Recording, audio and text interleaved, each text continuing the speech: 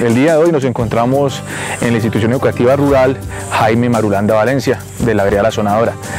Eh, en esta vereda se ejecutaron unos trabajos en la institución educativa en conjunto con 12 escuelas rurales más. Esto es un convenio que firmó ASO Comunal para el fortalecimiento de, las instituciones educativas que tenían pues algunas falencias en el tema de unidades sanitarias y lo está ejecutando la Junta de Acción Comunal Corinto eh, estamos muy comprometidos, no solamente nosotros, sino también las comunidades a las que hemos ido visitando. Se realizaron intervenciones en las unidades sanitarias, cambiando algunas de ellas, las tuberías de las unidades sanitarias, muchos de los baños estaban sin agua, eh, se construyó un orinal, eh, se cambió la cubierta de las, de las unidades sanitarias y otros trabajos más. Había que cargar agua en un balde pues para echarle y eso es muy incómodo porque en la escuela hay niños muy pequeños. Después la instalación de lavamanos, que tampoco contábamos con eso. El techo de, de, las unidades sanitarias, que era una plancha, estaba en muy malas condiciones. También en pintura se hizo un trabajo muy bueno por parte de la comunidad, con colaboración pues, de, la,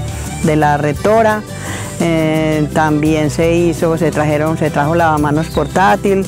Por parte de la comunidad se colaboró con el material de playa, eh, con la, pintada pues, de, la escuela, la, instalación pues, de, energía para los salones que tampoco había eh, forma de colocar pues, un poquito en los salones. Lo que queremos con esos trabajos es garantizar el periodo de alternancia de los, de los estudiantes de estas instituciones educativas, puesto que estos factores eh, incrementan el foco de, inseguridad, insalubridad y tratamos de combatir el tema con el COVID desde esos puntos de vista de, la parte sanitaria. Los beneficios pues, que ha traído todo esto han sido muy buenos porque los niños primero estudiaban así pues en alternancia, ya no, ya se estudia más poquito tiempo, más poquitas horas, pero vienen todos los niños a estudiar.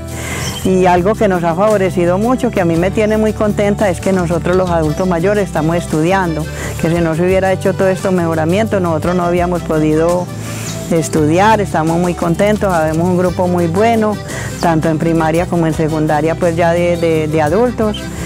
Y pues ha sido un proceso muy bueno, me parece a mí.